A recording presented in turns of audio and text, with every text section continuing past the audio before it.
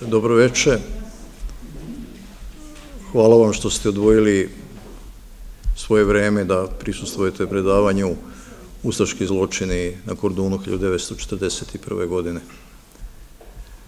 Ovo predavanje je tako zamišljeno da pokuša da osvetli ne samo događaje i pojave koji su se odigrali na Kordunu toku 1941. godine, već genezu zločina, znači uzroke zločina, način na koji je zločin nastajao, da osvetli žrtve, da osvetli izvršioce i ideologe zločina koji su se dešavali na jednom uskom geografskom prostoru i Kordun je za vreme drugog svetskog rata zaista podneo velike žrtve.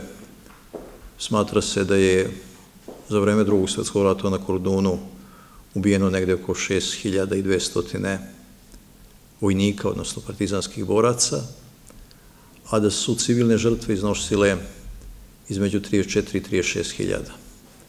88% civilnih žrtava su bili Srbi, takođe i poginuli vojnici su bili Srbi, a najveće gubitke civilno stanovništvo imalo 1941. 42. i 43. godine.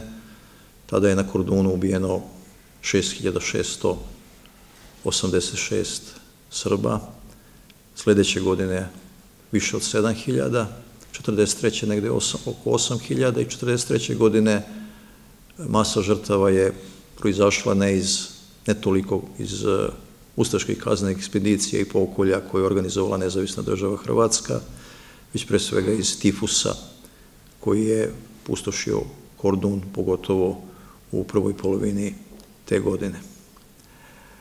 E, vratit ću se malo u svom izlaganju na 1914. godinu. E, zašto je geneza u 1914.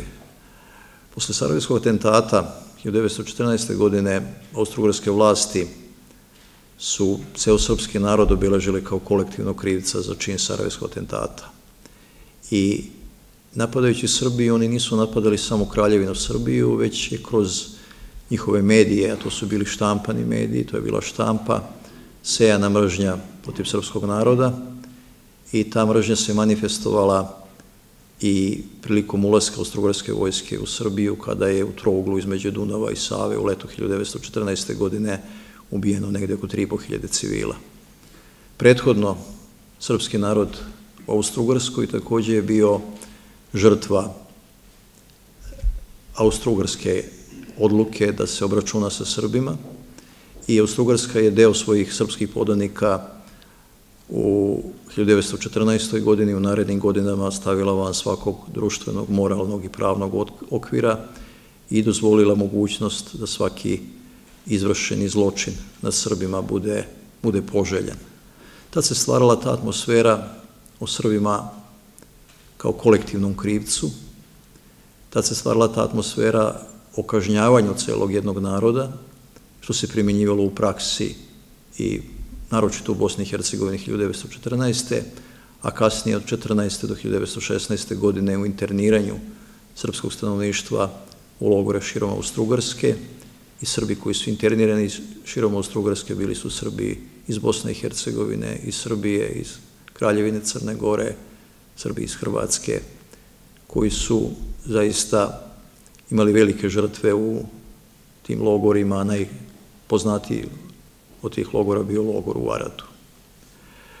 E, u toku Prvog svetskog rata dolazi do komplikovanja srpsko-hrvatskih odnosa i dolazi do toga da se među Hrvatima profilišu dve struje.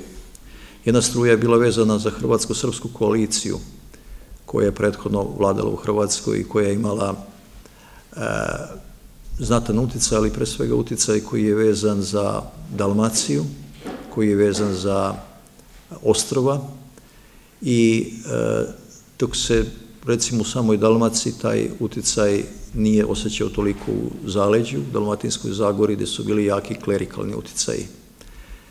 Drugo, većinsko raspoloženje kod Hrvata za vreme rata bilo je austrofilsko i prohaduško i svo vreme rata u, hrvatskom, u hrvatskoj političkoj misli imamo dve ključne linije.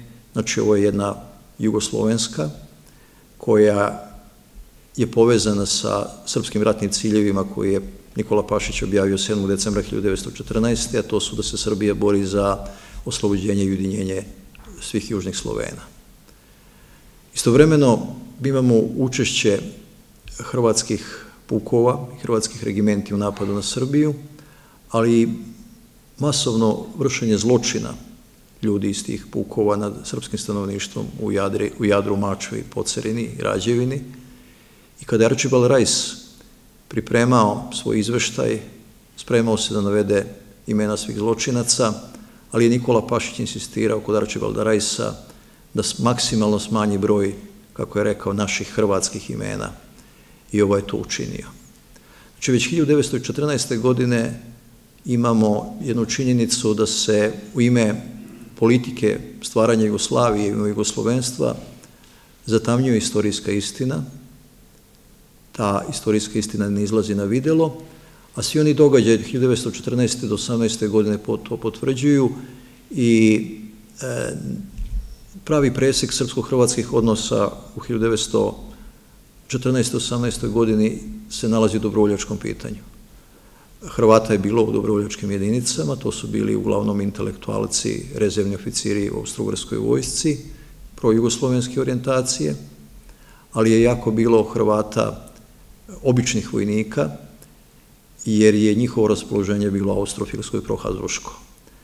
Na frontu na Dobruđi, gde je delovala prva srpska dobrovoljačka divizija, osnovana je druga srpska dobrovoljačka divizija, koja je bila sastavljena od mobilisanih ljudi, među njima je znatan broj bio Hrvata.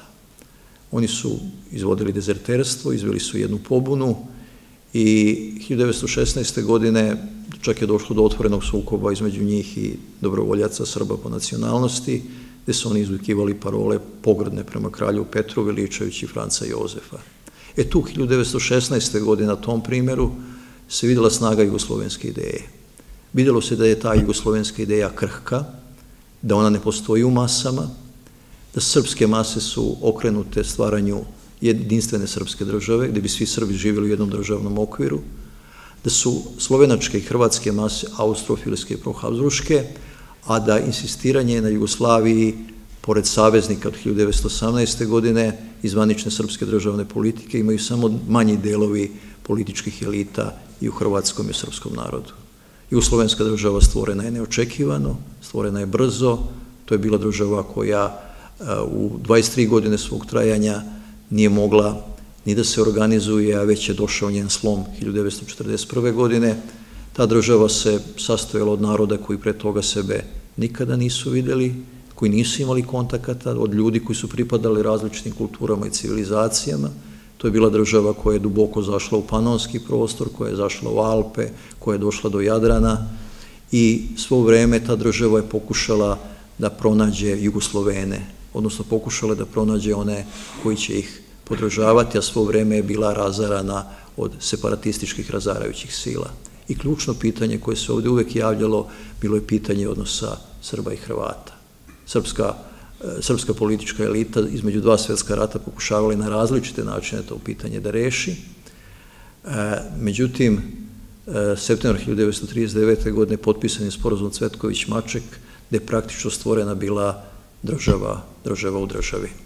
Ti napeti odnose između Srba Hrvata manifestuju se, bili su izraženi i ranije. E, na Kordunu posebno postaju napeti od 1936. godine od opštinskih izbora, u hrvatskim opštinama Hrvatska seljačka stranka na čelu sa Vlatkom Mačekom dobija većinu, već se tada vidi da se na svim, na svim mestima postavljaju hrvatske zastave, da se e, sklanjaju ćirilične table u tim, tim opštinama, da se, da Maček insistira na tome da se ne plaćaju, ne plaćaju državni porezi.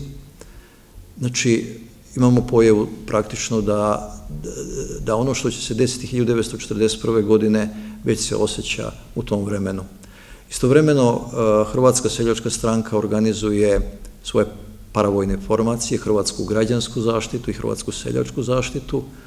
Oni su praktično bili naoružani, i bili su jedna vrsta polu, poluvojne organizacije. Kada dođe 1941. godina iz Hrvatske građanske zaštite i Hrvatske seljačke zaštite, regrutovaće se Ustaše. Ima podatak da je u Karlovcu pred, do 1941. godine bilo svega 18 zakletih Ustaša, da je taj broj naglo povećan 1941. na preko 2600 ljudi, a da je u 1942. godini bilo oko stotinu. E, otkud tih 2600 ljudi? Pa upravo su to bili pripadnici Hrvatske e, seljačke zaštite u selima, odnosno Hrvatske građanske zaštite u gradovima, pre svega govorimo u Karlovcu, i oni će davati u 1941. godini jezgro ustaških jedinica, oni će činiti one lokalne ustaše koje će uz pomoć ustaške migracije e, činiti zločine. Istovremeno imamo ustašku emigraciju snage od 250 do 300 ljudi koji se nalazi u Italiji. E, e, Italijani svo vreme tu emigraciju podržavaju. E, oni se nalaze u posebnim logorima, najpoznatiji logor je bio na ostrovu Lipar. I Italijani koji su glavni inspirator razaranja Jugoslavije drže Ustašku organizaciju kao organizaciju koja se bori protiv Jugoslavije, a preko koje oni mogu da deluju i ostvaruju, ostvaruju svoje ciljeve. Šta se može dogoditi sa Jugoslavijom? Videlo se na Kordunu septembra 1939. godine kada je došlo do a, pojave mobilizacije. Ta mobilizacija je bila probna i onda je došlo do pobune u 106. pešadijskom puku u Karlovcu. Koje, taj puk je bio sastavljen uglavnom od hrvatskih vojnih obveznika i to je pokazatelj bio da, da se približa, približava ta 41. godina, to je bio pokazatelj kako u određenim okolnostima će reagovati, reagovati hrvatsko stanovništvo. E, Aprilijski rat je trajao svega, a, svega 7, 11 dana, od 6. do 17. aprila 1941. godine. I već tada na području e, Korduna, odnosno u Karlovcu i u Slunju vidimo delovanje dve dve e, hrvatske nacionalističke grupacije, odnosno u Karlovcu deluje e, Ante Nikšić. On je poreklom bio iz Gospića i on je bio čovek koji je bio okružni sudija, predsjednik okružnog suda, znači čovek koji zauzimao zaista izuzetno visoku poziciju u sustvu Kraljevine Jugoslavije, bio je zakleti Ustaša i on je ovaj organizovao već 10. aprila pobunu u Karlovačkom garnizonu. Sa njim su bili Ivan Tomašević pukovnik i potpukovnik Stjepan Sertić. Tom prilikom zarobljeno je oko 700 jugoslovenskih oficira i vojnika. Slovenci i Srbi su zarobljeni, Hrvati su, Hrvati su pušteni i velika količina ratnog materijala. E, druga grupa koja je delovala bila je oko njegov, e, povezana sa njegovim prezimenjakom Ivanom Nikšićem, župnikom iz Slunja, i ova grupa je, delujući u Slunju, delujući na području Topuskog, u vreme Aprilskog rata takođe zarobila oko 700 jugoslovenskih oficira i vojnika uz jedan manji oružani sukob. Pritom je zarobila jednog pukovnika, Anto, Antonija Antića, jugoslovenske vojske, i zarobila je kompletan štab sedme, sedme armije na čelu sa generalom e, Belićem, Vladimirom Belićem to pokazuje na koji način, na koji način deluje, e, e, šta se dešava ovde, ovde na Kordunu. Istovremeno, 11. aprila kreće iz Italije, iz Rijeke, kreću e, Ustaše u organizaciji ovog Italijana. Ante Paveli sa 250 emigranata dolazi u Karlovac, tu boravi od 13. do 15. aprila i upravo boravi kod pomenutog sudije Ante Nikšića, tu pregovara sa italijanima i nemcima, u stvari sluša ono što će italijani i nemci narediti i posle toga odlazi u Zagreb. Umeđu vremenu 10. aprila je Slavko Kvaternik proglasio nezavisnu državu Hrvatsku, a isto tako e, e, Vladimir, e, Vlatko Maček je poslao jednu svoju, tako da kažem, jedno svoje saopštenje da je tražio od svojih pristalica da podrže nezavisnu državu Hrvatsku i da podrže ustaški režim. Nailaze teški i dramatični dani, Jugoslovenska država je razbijena, negde oko 30.000 Srba sa područja Korduna, Banije, Gorskog Kotara je bilo u vojsci za vreme aprilskog rata, oko 2600 je sprovedeno u Nemačko zarobljeništvo, 116 je poginulo za vreme ovog aprilskog rata, a aprila meseca se već donose u Hrvatskoj zakoni koji diskriminišu Srbe, jevreje, jevreje i Rome, zabranjuje se Ćirilica, zabranjuje se sva srpska udruženja i zabranjuju se sve vrste aktivnosti koje su vezane, svi se Srbi otpuštaju sa, sa svojih poslova i priprema se obračun sa srpskim stanovništvom. Prvi takav slučaj dogodio se 27. na 28. april 1941. godine u selu Gudovcu kod Bjelovara, kada je grupa ustaških emigranata na čelu sa Eugenom Didom Kvaternikom i pristalicama Hrvatske seljačke stranke, odnosno Hrvatskom seljačkom zaštitom, poubijala oko 200 srpskih seljaka. To je bio prvi pokazatelj onoga šta će se dešavati u narednom vremenu. I u narednom vremenu mi već e, u maju mesecu vidimo da se upravo e, na Kordunu i na Baniji, znači na onim krajevima da živi srpsko stanovništvo koje je blizu Zagreba, da tu već počinju, počinje priprema za, za prve pokolje i upravo se tu dešavaju, dešavaju prvi pokolji.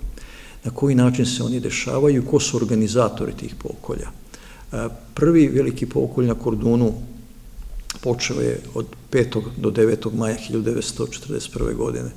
Znači, to je na samom početku rata, organizovali su Ustaše na čelu s Ivanom Šarićem i Maksom Luburićem, u pitanju su bili emigranti. E, takođe, inspiratori pokolja su e, hrvatske Ustaše iz hrvatskog sela Blagaja, znači Ivan Šafra i učitelj, Blaž Tomljenović, svešte, sveštenik Josip Paunović, Mlinar i drugi, koji su isplanirali da se ubije jedan istaknuti političar koji je bio pro-jugoslovenske orijentacije iz njihovog sela, Josip Mravunec. E, on je predstavljao levo krilo Hrvatske seljačke stranke, zato putovali su u Karlovac i dobili su saglasnosti, želeli su to ubistvo iskoriste za obračun sa okolnim srpskim stanovništvom, pre svega iz sela Veljuna. E, to se i dogodilo Znači, Šarić, Ivan Šarić, Mio Babić, zloglasni ustaša iz emigracije, Maks Luburić, došli su u, došli su u Blagaj, u noći između 4. i 5. juna je ubijen, 4. i 5. maja 1941. godine ubijena je cela porodica ovaj, Josipa Mravuca, znači on, žena i troje dece, i to je bio povod za hajku na Srbe. Hapšeni su muškarci u 16 do 60 godina i mnogima od njih je govoreno da dođu sami da se, da se pojave. Čak i organizovano suđenje, doveden je jedan sudija iz Slunja Nikola Lasić, streljano je 36 e, Srba, e, na intervenciju Italijana pušteno je negde oko 80 ljudi i onda je veliki pokolj počeo 9. 8. na 9. maj. Tada, su, tada je ubijeno oko 400 Srba iza katoličke crkve u Blagaju, Oni su odvođeni tamo i ubijani su najčešće drvenim batovima, a u tim ubistvima učestvovali su i e, domaće ustaše i ustaše emigranti. Potom je preko Leševa bačen kreč, kasnije je stavljena tu e, zemlja i kasnije je e, u toj dolini iza, iza katoličke crkve taj prostor uzoran i tu su seljaci iz Blagaja poseli zob. To je strašno bilo. O tom zločinu se dugo nije znalo, jer su e, lokalne ustaše proširile vest da je e, da su oni oterani na rad u Nemačku. I za vreme ustanka, kad se već razvije ustanak 5. augusta 1941. godine, grupa od 50 srpskih seljaka iz Gornjeg skrada na Kordunu sukubila se sa, sa ustašama, petoricu je ubila i petoricu zarobila, među njima je bio ovaj učitelj Ivan Šafraj koji je bio jedan od organizatora pokolja. On je ispričao šta se dogodilo sa stanovnicima Veljuna. I to je bio jedan prvi strašan pokolj i taj pokolj se dešava, znači imamo direktnu liniju koja govori o lokalnim ustašama, blagajskim, koji su ranije pripadali Hrvatskoj e, seljačkoj zaštiti, odnosno poluvojnoj organizaciji Vlatka Mačeka, njihov dogovor sa organizatorima ustaškim na terenu u Karlovcu, to je bio Ante Nikšić, dogovor sa emigracijom odnosno sa, sa ljudima koji su bili direktno oko Pavelića da se ovaj pokolj organizuje. Istovremeno organizuje se još, jedan, još jedno ubijanje Srba u susednoj glini. Inspirator tog pokolja je Mirko Puk, koji je ministar, koji je poreklom iz gline političar i koji je bio ministar pravde u nezavisnoj državi Hrvatskoj. On organizuje pokolj glinskih Srba, znači pre, one, pre onog ubijanja u Glinskoj crkvi, koje se desilo 28. na 29. juli, 4. na 5. august 41. dešava se još jedno ubijanje, tada je uhapšeno bilo tokom, tokom noći 11. na 12. maj, uhapšeno je 350 glinskih Srba, znači starijih od 16 godina, to su bili trgovci, učitelji, sveštenici, intelektualci, zanatlije, istaknuti, istaknuti Srbi odatle i oni su e, već ubijeni e, sledeću noć kod Hađarskog mlina, odnosno u selu Prekopi, to selo će biti veliko ustaško uporište za vreme, za vreme drugog svetskog rata i ubijanje takođe vrše, vrše emigranti. Glinski župnik Franjo Žužek ovaj, šalje, šalje protestno pismo zbog, zbog ovih ubistava i za neko vreme praktično se, praktično prestaju, prestaju progoni Srba na području Korduna, Korduna i Banije. E, Srbi počinju polako da se organizuju. E, počinju da bivaju pažljivi, iako ćemo vidjeti da u narednom vremenu se dešavaju slučajevi kada ih Ustaše na prevaru dovode, dovode i ubijaju. Negde 18. na 19. jul e, došlo je do jednog sastanka u šumi koje se zove Abez iz e, Severno Dvojnića i tu je donesena odluka o pokretanju pokreta otpora u, e, na Kordonu i Baniji.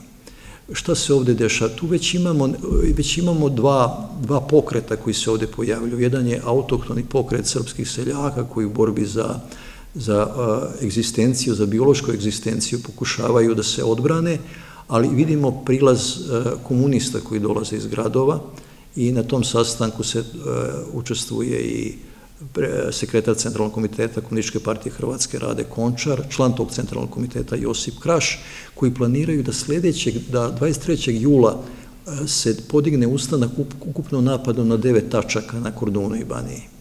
Dva dana kasnije dolazi do jednog dogovora e, komunista na Baniji i određenih, e, e, tako da kažem, narodnih vođa.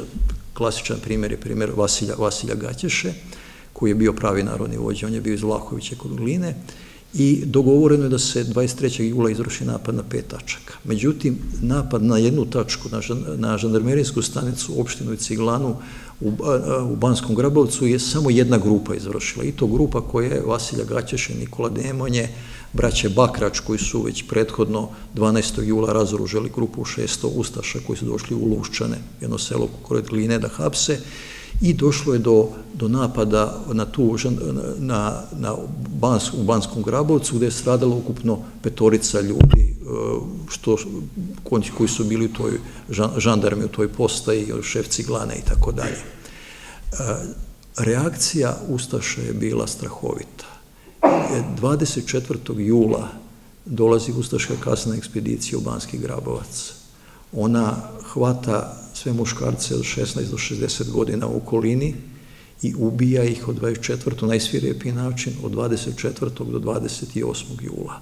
Na čelu te kazne ekspedicije je Božidar Cerovski iz glavnog ustaškog stana i ubrzo posle toga ova ustaška kazna ekspedicija počinje da se pomera, pomera i ka Kordunu.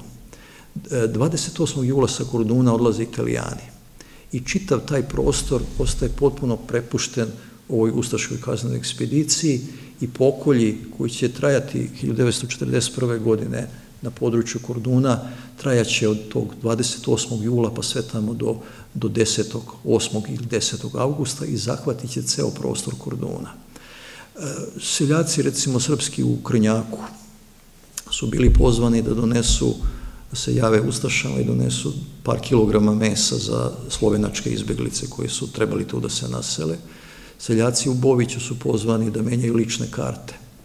Ustaška kasna ekspedicija ubila je oko 700, oko 70 ljudi u Ivanovića Jarku 29. jula 1914. godine, 1941. godine, a takođe u jednoj šumi Kobiljači od ovih 500 ljudi koji su uhopšeni u Boviću, jedan deo je pobijen, a drugi su poslati bili na, na pokrštavanje, kako su, kako su govorili. 30. jula ova kazna ekspedicija se našla u okolini Drežnika i Rakovice, gde je ubijeno negde oko 300 Srba. Najteži zločini dešavaju se na dve tačke. Jedno je Glinska crkva i drugi je toponim Mehino stenje. U Glinskoj crkvi su Srbi ubijani dva puta. Prvi put je to bilo noću 28. na 29. jul. To su Srbi koji su dovedeni da bi navodno išli na rad u Nemačku iz okoline Topuskog, Vrginog mosta, Čemernice. Tada je ubijeno 700 Srba, postoji njihova fotografija u jutro tog dana i u toku noći izvršen strahoviti pokolj. Jedini koji je preživeo je bio Ljuban Jednak. Ljuban je posle otišao u partizane i on je ovaj, kasnije vratio se, živeo posle rata u Glini da bi doživeo i progon 1995. godine i umro 1997. godine u Beogradu, a da njegova smrt nije previše pominjena bila u ondašnjoj, ondašnjoj srpskoj javnosti. Drugi veliki pokolj je bio između 4. i 5. augusta. Ukupno je u Glinskoj crkvi ubijeno 1200 Srba, crkva je, crkva je minirana i bila je javna tajna u Glini među hrvatskim stanovništvom da, da se od tamo ubijaju Srbi, čak su i građani pozivani da dođu i da pogledaju tela ubijenih i, ta, i to je bilo, je, zaista su ubijani bili na jedan najmonstruozniji način. E, drugi prostor ubijanja je bio prostor tačke Mehino stenje. To je, to, on se nalazi na takozvanoj suvoj međi koja deli Bosnu od Korduna i na tom mestu su bile iskopane veliki protivtenkovski rovovi, duboki rovovi za vreme Aprilijskog rata koje su Ustaše koristile za masovno ubijanje. Oni sabiraju stanovništvo oko Petrove gore, od Velike Kladuše, od Cetingrada i smatra se da je u tih deset dana tu ubijeno negde oko 4000 ljudi i to uglavnom žena, dece, žena, dece i staraca. Ubijanje im je rukovodio Ustaša emigrant Ventur Baljak, poručnik koji je bio poručnik poglavnikove telesne bojne. To je bila, tako da kažem, pretorijanska garda ovaj, Ante, Ante Pavelića. On je organizovao pokolju, u pokolju su učestvovali Ustaše iz Velike Kladuše i Cetingrada koja je bila veliko uporište. Istovremeno u prvoj polovini jula dolazi do pokolja na prostoru Slunja, i tim pokoljima rukovode e, braća Kovačević, Žarko Kovačević, učitelj, koji je, koji je postao stožernik za Kotor, Kotar e, Slunj, zatim njegov, e, njegov brat Zvonko i njegov brat Zdravko. U tim pokoljima uglavnom stradaju žene i deca, čak Ivan Nikšić koji je pred, katolički župnik koji je aktivan bio Ustaša se zgražavao nad onim što se dešavalo i u njegovom letopisu, letopisu katoličke crkve u Slunju stoji da su e, prvo pobili sve ovaj, slunjske pravoslavce, a onda da su e, po okolnim selima hvatali sve one koji nisu mogli da pobegnu, kaže to su bile žena, žene, deca, starci, starci bolesni to bestijalno ubijanje je trajalo negde do polovine jula 1941. godine. To su bili strahoviti zločini. Oni su izazvali i otpor, otpor srpskog stanovništva, organizaciju srpskog stanovništva na području Korduna, Korduna i Banije i mi već e, negde 18. augusta 1941. godine imamo jedno, jednu direktivu Josipa Kraša koji kaže da odredi koji se pojavljuju i na Kordunu i Baniji treba da na te, u tim odredima da se postave komesari i da se ne dozvoli kolebljivim elementima da skreću sa prave linije. Znači, mi tu već vidimo da komunisti e, polako preuzimaju kontrolu nad e, srpskim, srpskim pokretom koji se, koji se dešava na Kordunu, da prilaze tom srpskom pokretu i organizuju ga da bi ovaj, e, koristeći taj pokret koji je, je bio isključivo u smislu samozaštite srpskog stanovništva. Postavlja se komanda za za Kordun i za Baniju, Stanko Opačićanica, Miloš Dejanović su u toj komandi, Ječeslav Holjevac je u toj komandi komunista Hrvat, Srećko Manola, isto Hrvat iz Travnika i španski borac je također u toj komandi, Ivo Rukavina, Hrvat iz Like i četvrti je bio Robert Domani, to je komunista, španski borac i koji je bio iz jedne jevrijske porodice iz Slavonske Orahovice. Oni čine tu, oni čine tu komandu i ta komanda e, ima zadatak da objedini akcije na Kordunu i Baniji. U to vreme, e, u septembru, oktobru 1941. godine e, imamo jako razvijen partizanski pokret na Baniji, gde imamo negde na Kordunu, preciznije 640 i nešto boraca, 20% tih boraca su komunisti. 143 komunista ima na Kordunu. Na Baniji je taj broj manji i iznosi nekih 176 boraca, 15% su 15% su komunisti. E, komande za Kordun i Baniju deluje do decembra 1941. godine, a tada se odvaja komanda za Baniju kao posebna komanda, posebna komanda, komanda za Kordun. U ovom vremenu e, dolazi do još jedne velike ustaške ofanzive 21. 22. decembra 1941. godine kada je ubijeno negde oko 1600 ljudi. E, Hrvati, odnosno Ustaše iz Lasinje, e, posetili su Pavelića i tražili su da se napravi kazna ekspedicija prema, prema srpskim ustaničkim selima 20. decembra i ta kazna ekspedicija kojem je rukovodio Ante Moškov, koji je komadan bio Pavelićeve telesne bojne, kreće negdje 21. 22. decembra.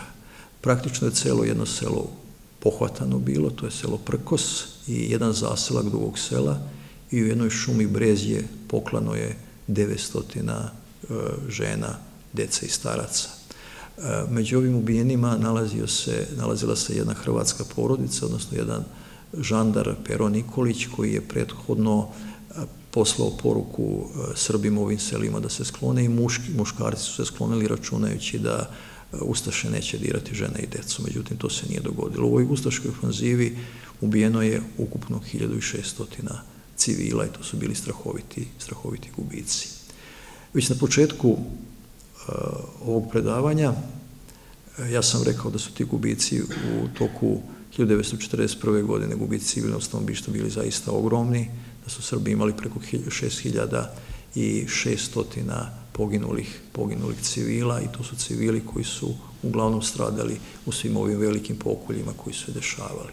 Ja ću pokušati ukratko da vam dam i pregled onoga što se dešavalo u toku 42. 3. 3. i 4. ali samo u opštim crtama, jer e, šta se dešava na Kordunu? Kordun se, e, srpski narod na Kordunu, ostalom kao i u Baniji i u Lici, nalazi se u sudaru između jedne, dve, dve snažne ideologije i oni se nalaze praktično između Nakovnja i Čekića. Jedno je ustaška ideologija koja gleda da uništi Srbe, drugo je komunistička ideologija koja na, na ovom prostoru pokušava da iskoristi te žrtve za svoje e, političke, društvene i svake, svake druge ciljeve.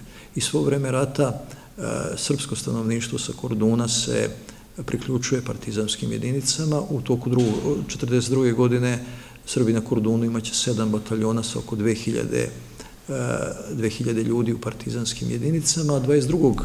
novembra 1942. godine stvoren je prvi hrvatski korpus koji se sastoji iz šeste ličke, sedme banijske i osme kordunaške divizije. Znači, e, to su jedinice u kojima se u tom vremenu nalaze gotovo gotovo isključivo Srbi. Kordun je posebno osetljivo područje, ono se nalazi u blizini Karlovca, ono se nalazi u blizini Slovenije, Gorskog Kotara, komunikacije od Karlovca do, do Rijeke i nije daleko ni od Zagreba. Zato će u toku 1942. godine Kordun biti izložen jednoj snažnoj ustaškoj ofanzivi koja će e, realno trajati od marta do, do maja meseca, i kada će u stvari doći do strahovitih pokolja nad srpskim stanovništvom, skoro trećina civila, e, civilnih stradanja Srba za vreme drugog svetskog rata dosila se te 1942. godine. Opkoljavana je bila Petrova gora u dva navrata, u maju mesecu posle jednog partizanskog napada napravljen je koridor od 500 metara kroz koji se stanovništvo izvuklo, ali u ovim borbama od strane Ustaša učestvovali su elitne i najkrvoločnije ustaške jedinice, upravo ta Pavelićeva e, telesna bojna i Maks Luburić koji su učinili strahovite zločine na srpskim stanovništvu. U toku 1943. godine e, e, Kordun je zahvatila nemačka ofanziva Weiss i napad sedm mesec divizije Prince Eugen koji je išao od Karlovca ka, ka Bihaću u januaru mesecu, povlačenje srpskog stanovništva uz begove i takođe do, došlo je tada do pojave tifusa da je negde umrlo oko 8000 ljudi u tim, u, u, u tim strahovitim gubicima. Da li je na Kordunu postojala i neka druga ideja sem partizanske i komunističke za vreme rata koje je prihvatila srpski narod, postojala je ali samo u određenim segmentima, postojala je samo delimično, imamo pojavu uh, poručnika uh, Jugoslovenske vojske Milića Rakinića, koji marta 1942. godine pokušava da organizuje četnički pokret u okolini Vojnića, međutim on je ubijen od strane e, ovaj, jednog domobranskog e, oficira koji je kasnije prišao partizanima, a partizani su zarobili svih 30 njegovih ljudi i svi su, svi su bili streljani. 1944. dolazi do nečega što se u e, srpskoj historiografiji naziva kordunaški proces, a o tome je pisao kolega Čedomir Višnjić, istoričar, i taj e, kordunaški proces dešava se u trenutku kada početkom 1944. godine Srbi na Kordunu, odnosno deo njihovih političara koji su bili vezani ranije za, za, za Srpsku demokratsku stranku, samostalnu demokratsku stranku i Pribićeviće, podvlače neku crtu šta se dešavalo u prethodne tri godine i e, dolaze do zaključaka da je, da je e, na teritoriji Korduna treba se drugačije ponašati. Oni štampaju jedan proglas srpskom narodu i taj proglas je e, štampan u Četničkoj štampariji u Plaškom, taj proglas nikada nije bio podeljen stanovništvu, međutim, političke vođe Ilija Žegarac, Veljko Korać i drugi su bili zarobljeni, a vojne, vojni vođa Joco Jeremić je prebegao Nemcima, do drugi Stevo Kosanović Jabučar sa svojom jedinicom je prebegao plaščanskim četnicima. Inače, svi oni koji su, petoro ljudi koji su bili ovaj, zarobljeni eh, od strane partizana, njima je organizovano takozvano narodno suđenje i oni su bili ubijeni, ovaj, streljani tog već 14. jula 1944. godine. E, kada se pravi bilans rata, ja sam taj bilans na početku vama već izneo, u tom bilansu rata vide se na jednom malom prostoru strahovita stradanja srpskog stanovništva. Na tom malom prostoru se e, dešavaju masovni zločini i na tom malom prostoru se formira jedna jaka partizanska vojna grupacija koja se zove Osma Kordunaška divizija, koja nije učestvovala samo u borbama na Kordunu, već i u borbama i u Lici, Gorskom Kotaru, Slavaniji, Žumberku, Sloveniji i u Istri, sve do 1945. godine, do dana kada su završene bile ove e, ratne operacije na teritoriji Jugoslavije. Posle završetka drugog svetskog rata sa područja Korduna takođe imamo jedan kolonizacioni talas, znači 45. godine partizanske, porodice partizanskih boraca se preseljavaju na područje Vojvodine u e, nemačka naselja i u nemačke, nemačke kuće. E, konfiskovana je imovina jugoslovenskih Nemaca zbog saradnje sa, sa Trećim rajhom i takođe tada imamo iz Hrvatske bilo predviđeno naseljavanje negde oko 9000 partizanskih porodica sa Korduna doseljeno je negde oko 770 porodica u mesto Kljajićevo, danas u blizini Sombora i tu naseljeno. Znači tu vidimo da se, e, da se odvija, odvija molim? I Čonoplju, da da, i Čonoplju svakako jest. Tu vidimo da se odvoje, odvija jedan, da se paralelno odvijaju dva procesa. Jedan proces je fizičko uništavanje i istrebljenje srpskog stanovništva za vreme rata, a drugi proces je proces preseljavanja koji se dešava neposredno posle rata. Oba procesa su biološki oslabila srpski narod na području Korduna, a događaji koji su se odvijali od 1991. do 1995. godine na području Korduna, Banje i opšte u Republici Srpskoj krajini jesu bili događaji koji su bili izazvani svim onim što se dešavalo upravo u periodu 1941. i 1945. godine. Znači, nećemo sad ulaziti u definiciju e, onoga što se dešavalo 1991. godine i u davanje sudova o tim događajima, ali bez sumnje svi uzroci sukoba i sudara nalazili su se u događajima od 1941. do 1945. godine i u velikom strahu srpskog stanovništva da se ne ponove ustaški pokolji i da se ne ponovi rat i 1941. godina.